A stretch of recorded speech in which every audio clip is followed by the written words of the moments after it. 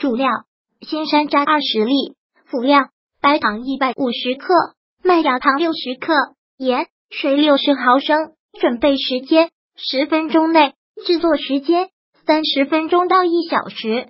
准备好所有的食材，山楂洗净，擦干水分，然后把山楂用竹签穿起来备用。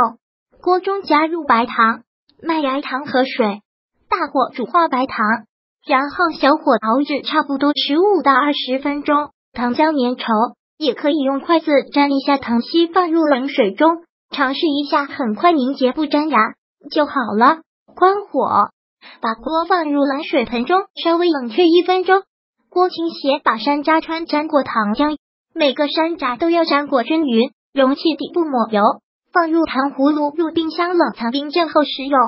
烹饪技巧：除了山楂，也可以加入自己喜欢的水果，串成水果串也很不错哦。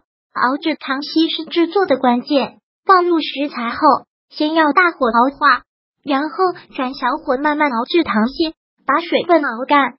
如果有温度计，可以放入温度计，达到一百五十二度的时候，糖稀就熬制好了。没有温度计的，可以用筷子沾一点糖稀，放入冷水冷却后，尝一下不粘牙就可以啦。粘牙的话，再继续熬制一会。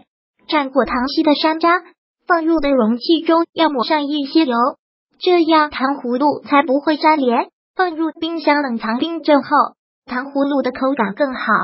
如果喜欢本视频，请分享并订阅本频道，访问 tt news 点 xyz 获取更多相关资讯。